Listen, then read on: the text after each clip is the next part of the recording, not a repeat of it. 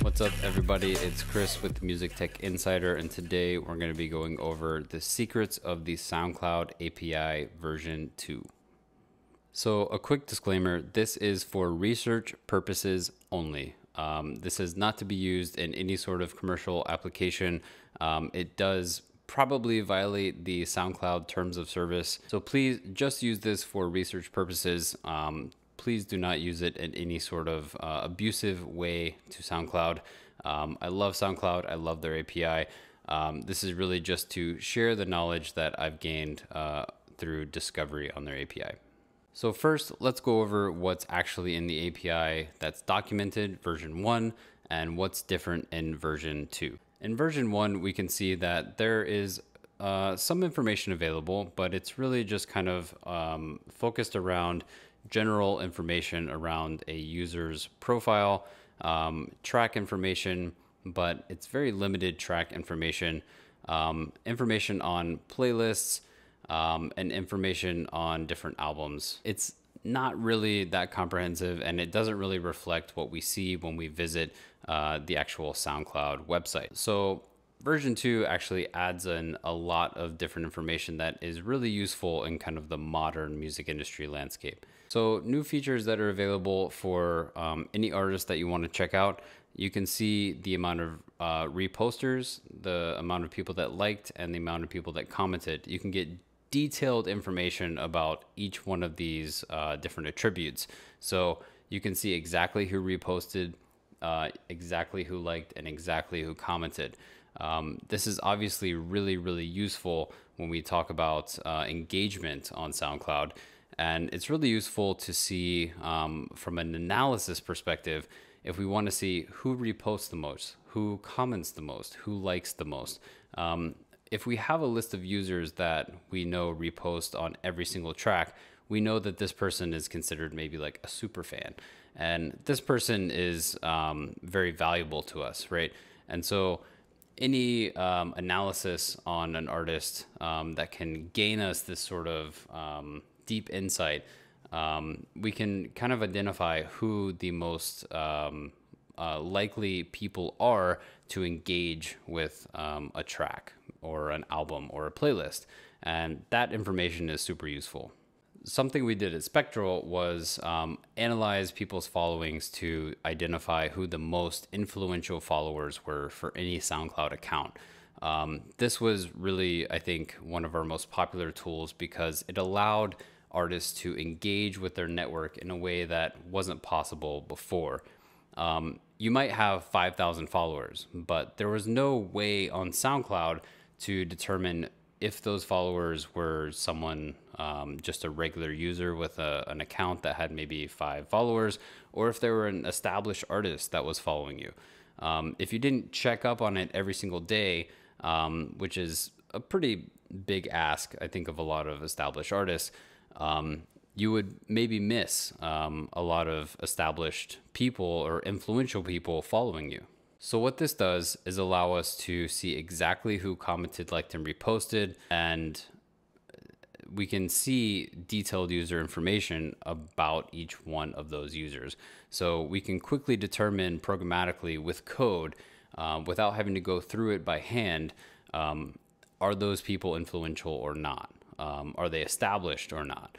Uh, are they verified or not? And these are really important metrics, um, I think, for any artist and any label to identify these people within their network that they can um, contact or reach out to and say, hey, I saw that you engaged with my track um, or you have been engaging with my track.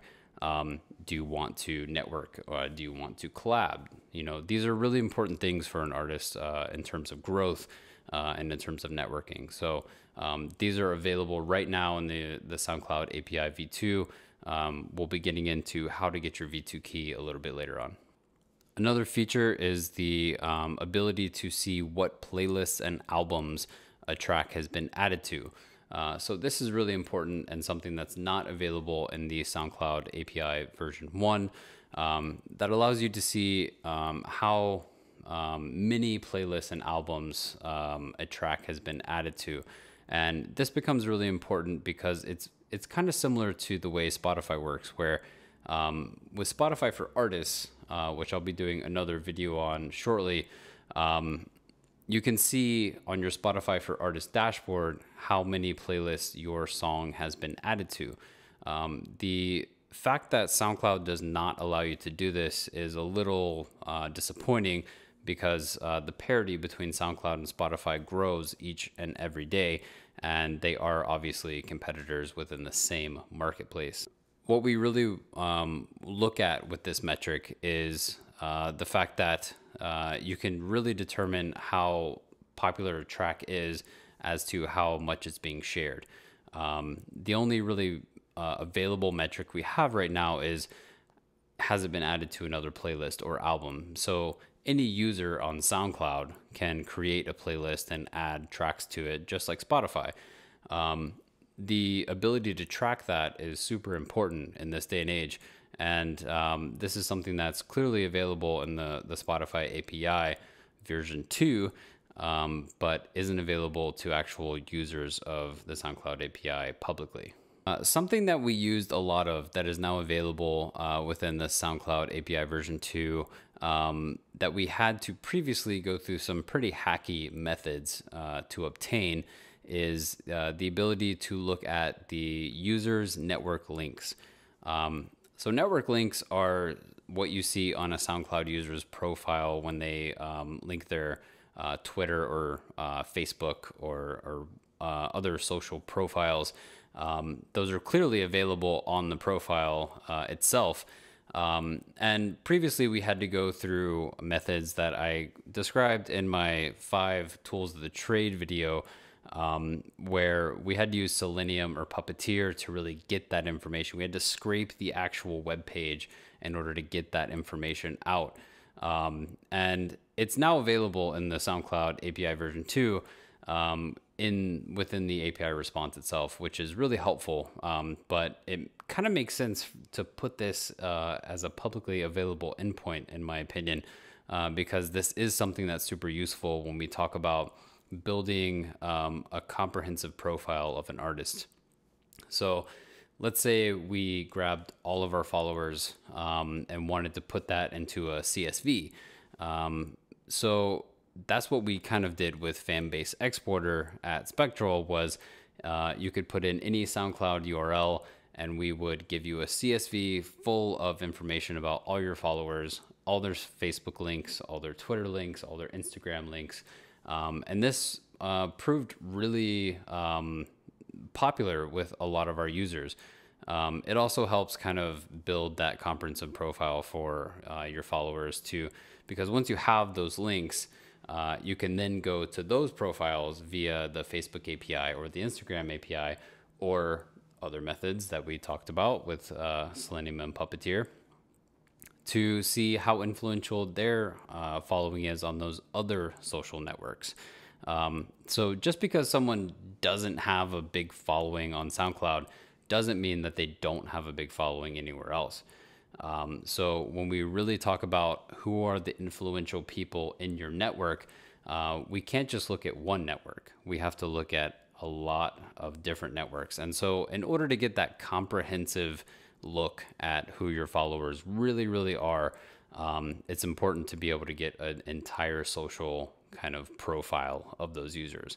So uh, this would be a really important thing, I think, to put in the public API, but it is available in the SoundCloud API version 2.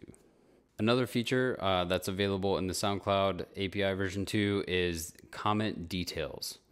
Uh, comment details allows you to see um, exactly what point and the comment um, uh, text, I guess you would say, uh, for each comment on a track. Um, I think this is important in a number of ways. Um, it's kind of up uh, to interpretation uh, as to how important you think this is. But to me, it's it can be used in a number of uh, really cool ways. Um, if you look at the timestamp, um, you'd be able to determine exactly what point in a song people really, really were feeling it, right? And I think that's kind of cool to look at as an artist because uh, Spotify or you know other platforms don't really allow you to comment on songs, especially like at a certain point. Um, so what you're really getting at with SoundCloud and something that they really add value to is uh, being able to see exactly at what point um, you know songs are really attracting user attention. Um, I think that can be pretty useful to a user when uh, or an artist really uh, when they're making songs, releasing songs. Um, they can see exactly what works. Like this kind of feedback from fans, I think, is uh, paramount to uh, their growth and development. Um, so I'm not sure why this isn't available. Um, the other aspect to that is uh, the comment text or the comment body. Um, so being able to analyze sentiment um, in what works and what doesn't. Uh, you can also filter out kind of like what are spam comments and what are real comments. Um, I think that's pretty important, uh, especially in this day and age where we have the ability to uh, buy comments, basically, um, or you know, there's a lot of bots out there. So if you really want to analyze how many um, authentic, organic comments are there, you could technically put a filter on this and see exactly how many authentic comments are there versus how many bot comments are there. Um, I think that's pretty cool. Something else I discovered was the ability to see related tracks for any track on SoundCloud. Um, this is important because, um, again, as I mentioned, like Spotify kind of does this already um, in their API. So the ability to see related tracks um, also has a number of uses, right? So being able to see the artists that are kind of around you or related to you based on an algorithm that someone else has developed and is a lot more sophisticated than something you'd probably want to develop allows you not only a networking opportunity but um, a cross promotion opportunity so when you are advertising your artist um, let's say on facebook um, you can target people of a similar uh, demographic by targeting people who like another page. Um, this becomes important with related tracks because uh, this algorithm will determine um, and tell you exactly people that listen to your track also listened and liked uh, or you know follow this other artist track. So it it kind of gives you that organic look into uh, what people are actually trending toward. Um, this becomes important in advertising uh, because we can target certain other uh, artists around us pages as we advertise uh, our own artist music. So obviously the significance is there, right? We can um, gain some insight through this endpoint uh, as to who we need to market toward and uh, who our, our fans are trending toward um, to make better advertising decisions. These next two are just about getting information around the authenticated user. So these um, endpoints and this information aren't available for any user. Um, it's only the user that you are authenticated to the API with. So obviously there's going to be some additional uh, authentication that you're going to need to go through, which we don't go into this video. Um, but um, it is, I guess, possible. It's not something I've necessarily explored because I don't really have the need to do it, and it's a pretty new development. Um, but if you guys want me to dive into it, um, just leave a comment below. And um, the first one here is being able to get the message inbox.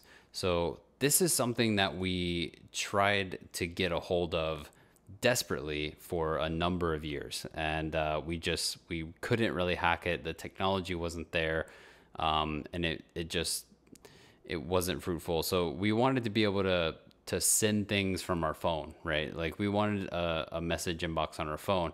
And for the longest time, and I'm not even sure if it's implemented now, the SoundCloud app didn't allow us to see our inbox, respond to messages, send messages, anything like that. Um, so the SoundCloud API v2 actually allows us to see the list of uh, inbox messages. I haven't actually tried to send a message to the API, but it at least allows us to list the messages that we've received, which is pretty cool.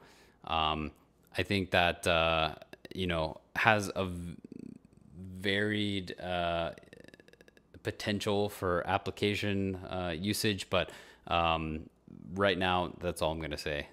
The last thing uh, that I'll mention is uh, something that was a little concerning to me. Um, and it's really just for the authenticated user, so there's a little less concern because of that. Um, but the fact is, I just don't see why this was necessary. So there is a certain response from the SoundCloud API that will tell you your plan details. So if you are a free user, a premium user, an unlimited user, um, things like that. Um, which is all well and good, and that's something that's done through a number of APIs uh, currently on a lot of big platforms. The part that concerned me the most um, was the fact that you are able to see credit card details through an API response. This part bothers me.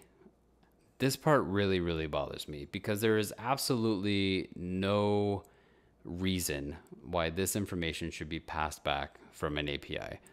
Um, I get if you want to, if the page needs to check what kind of user you are, whether you're a premium user or a free user, I get that.